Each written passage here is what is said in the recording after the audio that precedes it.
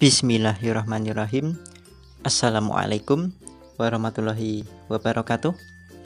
Ketemu lagi dengan saya Mas Jack Di channel Mas Jack Elektronik Pada kesempatan kali ini saya mendapatkan servis panggilan Yaitu servis mesin cuci Merek Sub ya ini ya. Yang kerusakannya adalah mati bagian pencucinya ya.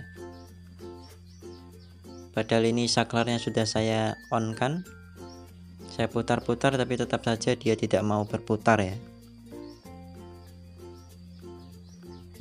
Nah seperti ini. Oke sebelum kita lanjut ke servisannya jangan lupa dukung terus channel saya ini Mas Jack Elektronik dengan mengeklik tombol subscribe-nya. Jangan lupa like, komen, maupun share apabila video ini bisa bermanfaat. Oke, karena ini mati ya, tidak mau berputar. Saya curiga kepada stop kontaknya. Apakah ada aliran setrumnya?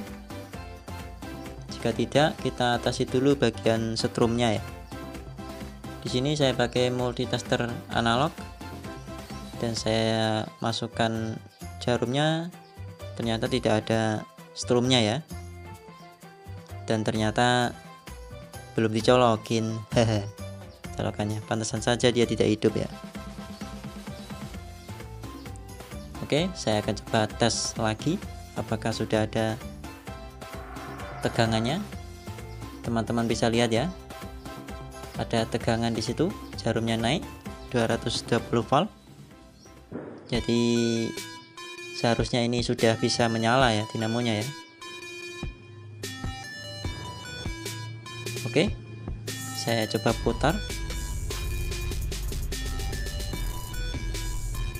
Dan pengeringnya mau berputar kelihatannya. Teman-teman bisa lihat ya. Dan ini seharusnya bagian pencucinya pun bisa berputar. Tapi ternyata zong ya tidak mau berputar tetap saja. Kalau dikasih putaran sama tangan dia baru mau berputar. Jadi ini fix. Kerusakannya adalah pada bagian pencucinya ya. Teman-teman bisa lihat sedangkan ini sudah saya putar. Tapi tetap saja dia tidak mau berputar. Harus dibantu pakai tangan ya Oke ini setelah saya bongkar tutup belakang dari mesin cuci ini saya curiga pada dinamo bagian pencucinya ya. Saya akan coba lepas kabelnya saya akan tes gulungan dinamonya. Apakah masih bagus atau tidak? Ini adalah bagian kabel bagian dinamo pencuci ya. Ada warna pink biru dan hitam saya akan coba tes menggunakan multitester analog. Jika normal ini pasti dia naik jarum naik penuh ya. Kali 1 kilo. Dan ternyata ini tidak naik sama sekali jarumnya ya. Padahal ini kalau disentuh testernya itu normal. Jadi gulungannya ini putus ya di dalamnya. Saya akan coba pindah kabelnya. Nah ini saya pindah ke hitam ya. Nah, teman-teman bisa lihat tetap saja tidak mau naik. Dan yang untuk ke merah ke pink pink maksudnya kabel pink dia bisa nyambung. Jadi ini yang putus adalah bagian kabel birunya ya teman-teman oke langsung saja saya bongkar dinamonya.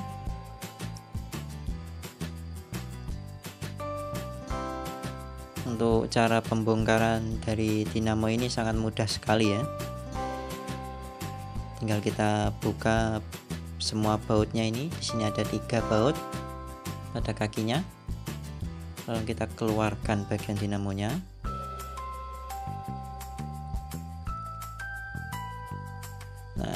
ini dia penampakan dari dinamonya.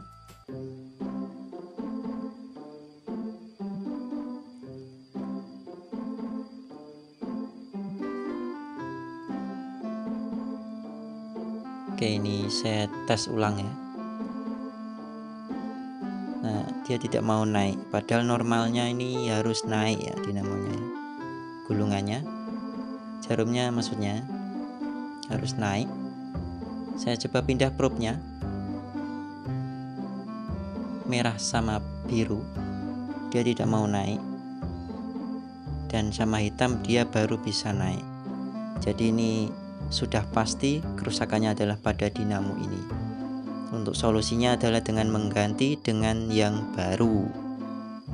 Atau diservis ulang atau disepul ulang bisa jadi Sekian video kali ini, semoga bermanfaat. Assalamualaikum.